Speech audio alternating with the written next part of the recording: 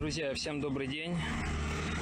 Масовий мор риби у Телігульському лимані на поверхні води знайдено тисячі особин атерини промислової риби. За словами екологів, які почали бити на сполох, причина в неправильному проектуванні та будівництві каналу, який з'єднує Телігульський лиман із Чорним морем. Ситуація спостерігається протягом декількох діб і може стати небезпекою, зокрема для курорту Коблево. Через велику кількість органіки незабаром розпочнуться процеси утворення хвороботворчих бактерій. Відзначу, що на спорудження зазначеного каналу з бюджету області свого часу виділили понад 59 мільйонів гривень. А від початку його будівництва було відкрито декілька кримінальних проваджень у зв'язку з розкраданням коштів. Експерти вважають, що недоліки конструкції призвели до замивання каналу піском, через що управління шлюзами, які необхідно періодично відкривати, ускладнюються. До того ж, є інформація про те, що на каналі мали намір організувати промислове браконьєрство, перекривати в певний час вихід риби в море, щоб відловлювати її у великій кількості.